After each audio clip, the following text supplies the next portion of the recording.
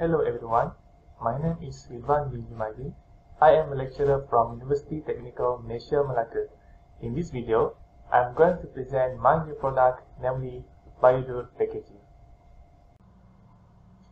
For this content of this uh, teaching, uh, I will start with introduction and the problem statement and the solution that we provided. Continue with novelty and inventiveness, product testing, commercialization potential, the copyright and publication, and industrial collaboration. So as introduction, biopolymer is one of the green alternatives to substitute petroleum-based plastics. Among them, starch is one of the most promising uh, because starch it can act as a thermoplastic materials where the presence of plasticizer and heat. However, it has a lack of strength and rigidity. So, uh, the addition of fiber might improve uh, the mechanical and physical properties of the material. So, we come straight forward to the problem statement. Why this product is very important? Because for decades, the use of the excessive use of the plastics has been a very major uh, environmental pollution issue. It's been uh, all over the world. So the, this because the non-biodegradable characteristics makes it stable in the environment for a very prolonged period of time. So how long it stays in the environment? Let's see. So estimated the decomposition rate uh, for paper is okay. Uh, leaves, uh, orange peel is uh, considerable. For milk cartons, up to 5 years. For plastic bags, it takes 10 to 20 years. That's how long it stays. Uh, for aluminum can, up to 400 years. For plastic ring, up to 500 years. Plastic bottles, up to 500 years glass bottle, maybe forever, and styrofoam, maybe forever. So it takes a very long time uh, to decompose.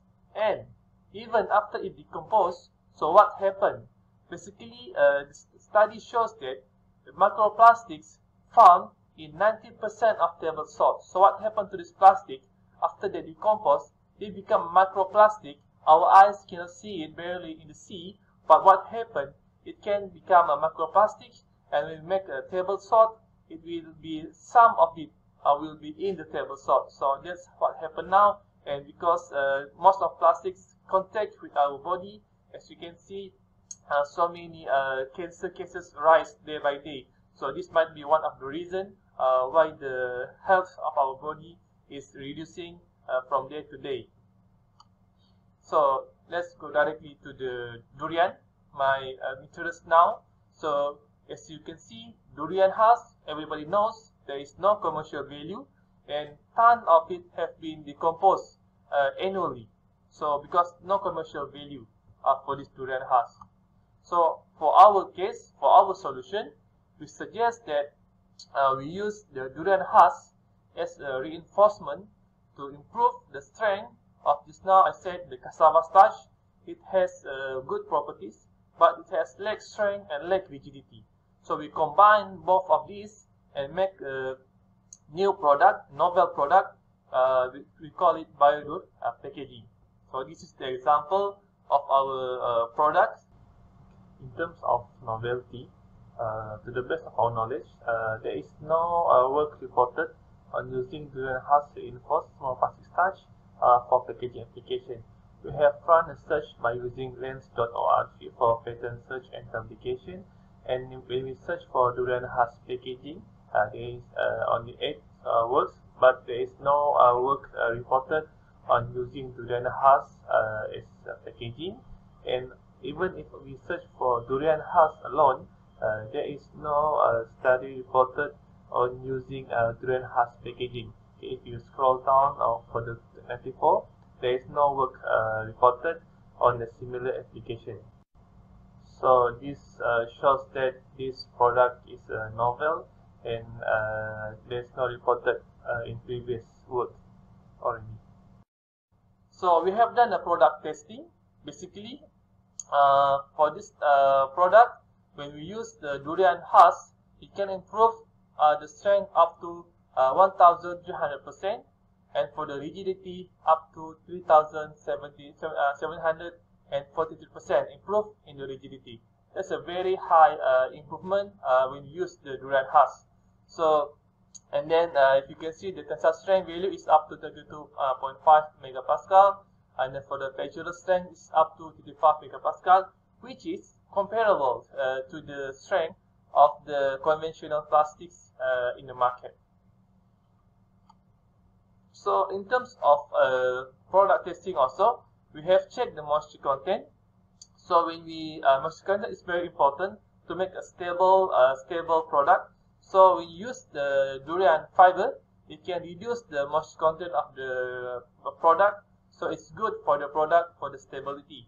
And then uh, it's also reduce the water absorption of the product when you use the durian durian husk. Okay, so for environmental testing, this is the water solubility. It's a test to uh, show how many percent of this uh, product will dissolve in water. Let's say if you want to dispose it uh, in water. So basically the data shows that uh, it can dissolve up to 50% after only 24 hours of uh, dissolve in water. So as we improve, increase the fiber content, uh, the amount reduce because the fiber basically helps to improve the rigidity of the material. That's why the solubility reduce. Uh, nevertheless, this is uh, still considered to be a good uh, environmental friendly material. And then uh, for biodegradation test, what we done, we done four weeks of burials of this product and after 4 weeks this is what happened as you can see uh, this product was eaten by the organism in the soil which is very good and very environmental friendly and as you can see here after 4 weeks it can degrade up to 10 uh, 70% of uh, weight loss only after 4 weeks in the soil so this is a proof that uh, shows that this uh, product is environmentally friendly proven.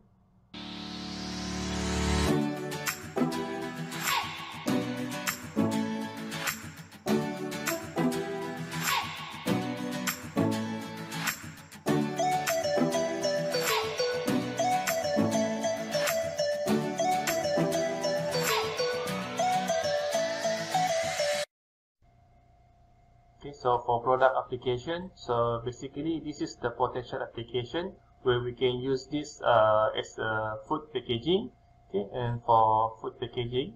And also you can use it uh, for the uh, utensil as well. So basically this product uh, has been tested in the internet environment and it meet the performance uh, expectation where it is uh, quite stable when it's being stored like this without changing in the dimension so we can say that this product is almost ready okay for the uh, for the small market in terms of uh, potential commercialization uh, the market shows that there were only slightly less than 1% of total glo uh, global plastic production capacities for bio-based and biodegradable plastic needs. This is very, very uh, huge potential because very less market. So in 2020, the biodegradable plastic packaging market was valued at USD 4.65 billion. Okay, and then expected to reach a market value of 12.06 billion by 2025. This is a very high uh, potential uh, for this product. Huge market potential. So uh, this is the business canvas. Okay, we prepare a business canvas. So this is the authority, key partner, uh, mostly uh, Ministry of uh, Environment and Water, and then Malaysia Green Technology Corporation. So this is the non-NGO, World WWF Malaysia, Greenpeace Malaysia, and the potential companies is the plastic manufacturer like Dipole Plastic Packaging, Hub Hand Confectionery, and also for end product manufacturers such as the product owner or specific producer by small medium industry. So basically, uh, the creativity for the authority is this one, to promote innovation, uh, continuous models, and sharing expertise, and also for regulatory aspect. And then for the NGO to create a green product awareness and collaboration. So what is the value proposition for this product? It's uh, refining existing and potential offers okay, and uh, for bioplastic. And this product is biodegradable and environmental friendly. And also because it's a thermoplastics uh, category it is recyclable. And of course the resource is always renewable unlike the petroleum based plastic where the petroleum is not uh, renewable. It takes 100 or up to million years uh, for the petroleum to be uh, resurfaced again in the in the world. So uh, in terms of customer relationship uh, for this authority it enhance the biopolymer technology and yet a novel product okay, it provides technical characteristics. And then for the NGO uh, this product uh, suitable for early adopters. For example a company which started uh, their, this one to start their product they can use this product. Because this product is more sustainable uh, they can reduce the use of non-renewable resource. However for the late adopters which means the company which already established but they need to change their product their packaging because they because of the regulatory complement compliance and then they need to make the product uh, their business future proof so that they will be able to cope with the future regulation. So what are the customer segment? Okay the customer segment uh, is for food packaging. Uh, also we can cover food and beverage personal care household and retails so what are the value creation? This is very important. So uh, we can make this uh, as a raw material supplies to the manufacturers company uh, startup, SME, and also a brand. So we can produce and sell the packaging through a distributor, co-packers and partners, or we can uh, sell it for direct purchase from small enterprise or even from individuals. So that's for the business canvas. So the clear, this is a very clear market potential because uh, we know this product is a very high potential and then we have a very high, a very clear the potential from raw material supply, from produce and sell packaging, or even for direct purchase. Okay, so for the product cost, we have made some calculation estimation. So let's say uh, we can produce uh, 120 product per hours by using injection molding for rapid production and 8 hours per day and for 20 working days so estimated total production for one month is about 19,200 pieces.